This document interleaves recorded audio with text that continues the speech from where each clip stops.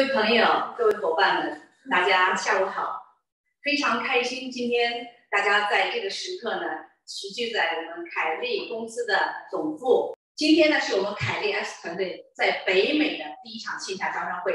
话不多说，今天我们这场招商会呢，大家非常有幸会聆听到我们凯利 S 团队的创办人谢雨豆女士，实体连锁网店非常成功过的企业家，同时也在线上连锁网店非常成功过的企业家，给大家讲这场招商，我们大家非常有福。所以呢，现在呢，话不多说，我们就把我们的话筒有请我们的。谢总，谢周女士。嗯，各位下午好。嗯，今天呢，其实很高兴能够在洛杉矶首秀。虽然说人不多，但是毕竟这是我在美国的第一场。我先做自自我介绍哈，我叫谢雨豆，下雨的雨，黄豆的豆，因为我是属鼠的。我妈妈就怕我没吃的，黄豆就是老鼠最爱吃的粮食。但是呢，没有风雨就没有收获，我的名字是这样子来的。嗯，我的这个人生呢，其实我每每一次转折都转的让我家里面的人心惊肉跳。我应该是我的人生是分为九七年以前，我九七年以前在国营企业里面做会计，而且是一个成本会计。当然，这个职场经历跟我的未来，我以后的这种企业管理真的是奠定了一个很夯实的基础。所以我九七年的时候，我去干了一个什么行业？美容行业。那个时候我们全家人也是反对，因为那个年代的话，觉得好像做美容，如果偏远一点的地区，就觉得好像美容是不好的。但是那个时候呢，我父母就觉得，哎呀，那个美容是伺候人的呀。所以我在九七年进入到这个领域之后，然后从美容化妆品到最后的整形医美，一直到二零一三年，我在整形美容这个行业做了将近二十年。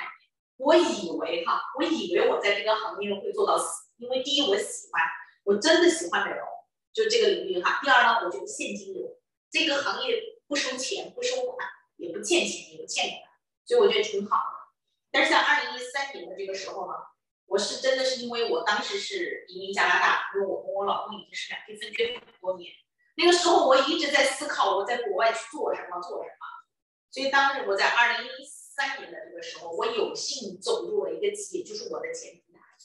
那个时候呢，我只给了我自己两个假设。假设一，如果两万块钱人民币哈，真的可以让我把一个生意做到全球，我觉得假设这个假设成立的话，那就绝对是一个很好的生意。同样的，我有一个假设二，假设二，如果是这个生意真的可以给我带来上百万、上千万甚至更多的利润的这个时候，我觉得这个生意真的是很可以。所以我在二零一三年的三月份的时候，我带着这两个假设，我分别赴美国、赴香港、赴欧洲去考察这个考察这个生意它可不可能、可不可行。所以我当时在二月，呃，二零零一三年五月十八号回到成都，我是四川，我是成都人。所以我回到成都那个晚上，我一个晚上不能睡，我觉得这个生意好像可以。所以我在。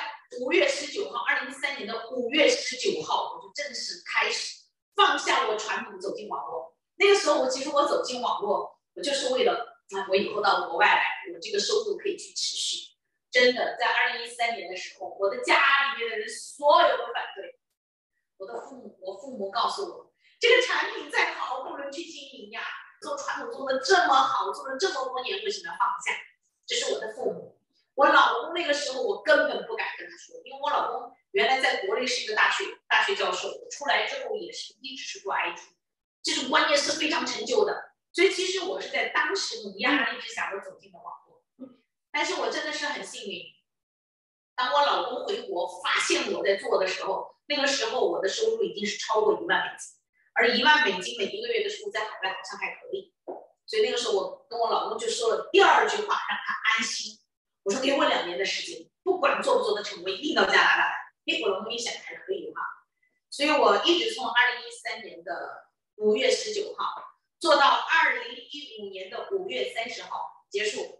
我用两年的时间完成了我后面的整个改变我人生的生活方式。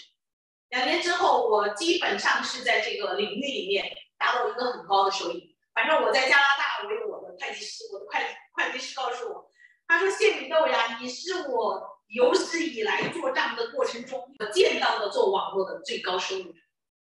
所以呢，但是其实我这人生的这两次转折，真的是让我家里面都觉得很很惊讶。但是我在去年我又做出了一个更为重大的决定，我决定放弃我的前平台。就很多人不理解。谢宇豆，为什么你的前平台做的那么好，你要放弃？所以今天呢，我就是想带来我的这个主题。我的这个主题就是我为什么要去放弃我的前平台？因为中国人有一句话在讲：当天时地利人和的时候，所有的结果都会有一个好结果。所以天时地利人和，所以我今天我将会用一个小时的时间，就是我请大家用一个小时，我看电话，我走动。然后去关注其他，跟我一起去求证一个项目，求证一个商机，有可能，我只是说可能，啊，既然是可能，就是一切皆有可能，有可能这一个小时，我们将找到一个迄今以来我认为最好的机会，商机也好，机会也好，啊，有可能找到一个最好的机会，而这个机会它不是为我们带来赚几十万、赚几百万，这个不能吸引我们。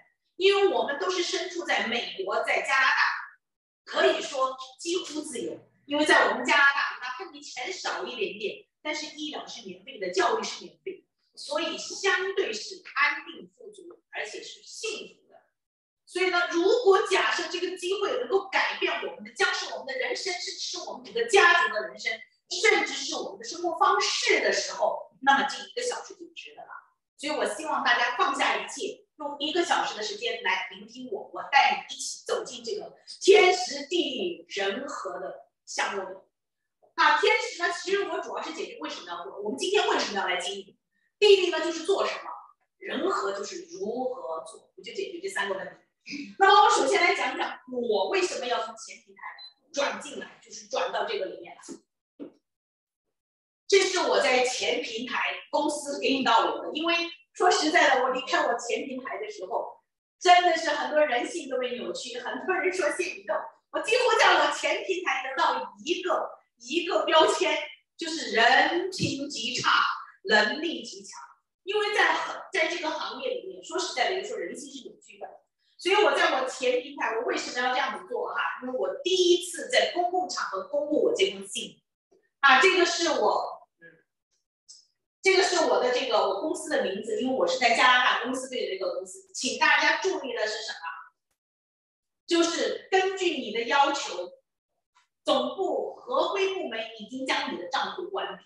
我是在五月十五号写申请去辞掉我这个公司的账户，关闭我的账户。五月七号那一天打开我的凯日账户，因为为什么？因为我觉得这是对我的老东家的尊重。我很感谢我的老东家，因为他彻底让我在一个领域里面完成了我达到我的终极目标。我设立的这个目标就是时间自由和财富自由。我原来可能我做传统的时候，哪怕你财富是相对自由，但是时间绝对不自由。所以呢，我今天是第一次公布哈，就是根据我的要求，已经将我的账户关闭。在关闭的过程中，很多人来找我，建议到可不可以把这个账户转给我。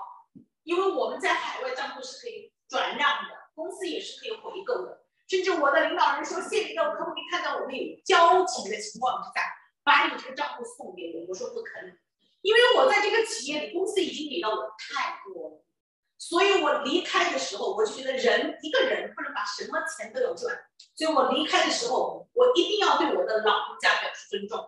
第二，要舍得去放下。因为每一个人都知道我的账户有很多钱，钱多到什么程度？我们来看下一个，这是我关闭那一天，我依然是保持钻石。虽然说我不是双钻，但是我的收入超过很多很多的双钻。为什么？基本上你们熟悉的钻石，或者是双钻，或者是三钻，它都在我的旗下，所以我的收入是相当高的。所以很多人想不通。谢宇豆，你为什么要离开？我有一个小伙伴告诉我，谢宇豆，你是不是疯了？你竟然要离开，那么多的钱你都不要了？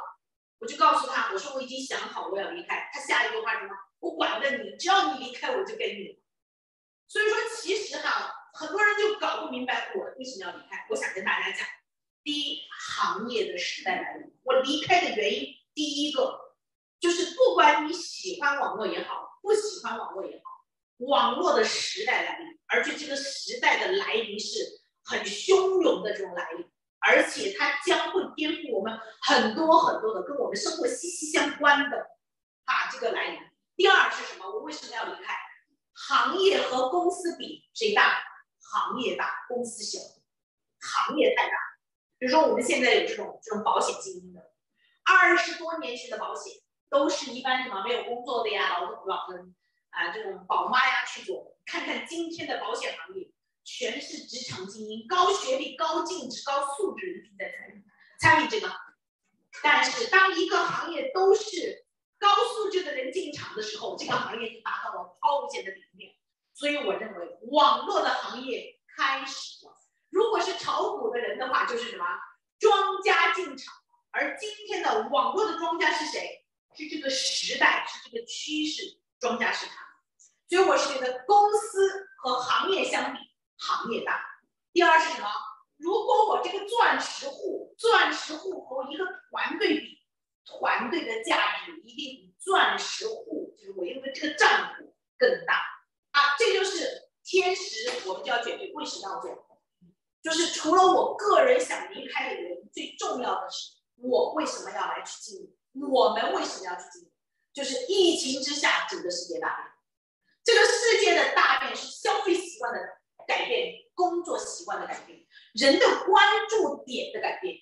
你想想，几乎 IT 的行业都没有公司，全部在家办公。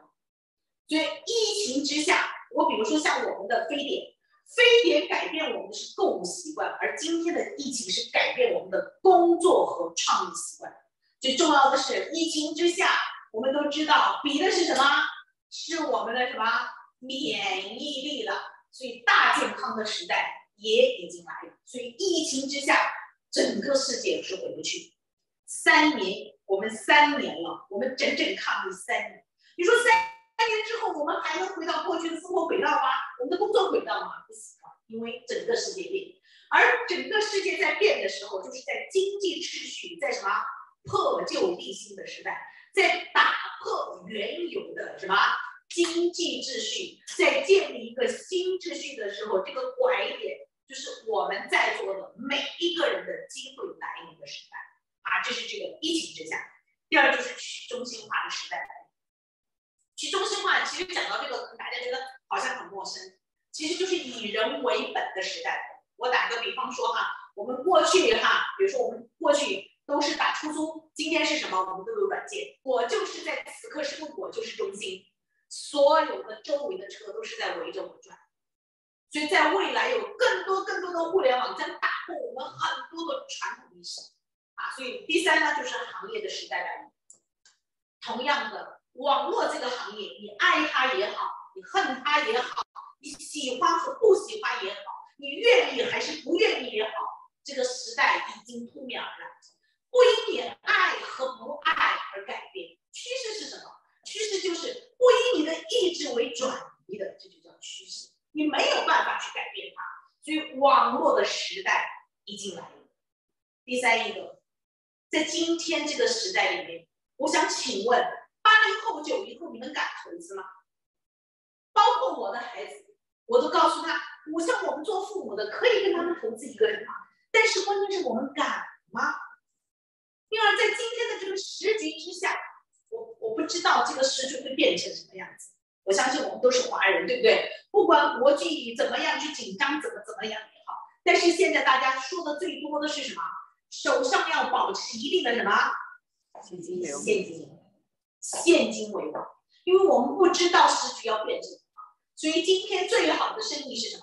轻资产加现金流。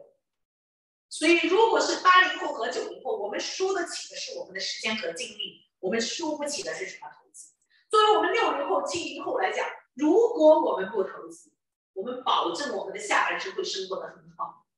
如果去乱投资，可能我真的要去社会主义了。所以，所有人向往的生意都是轻资产加现金流，所以这就是天使。我们为什么要做？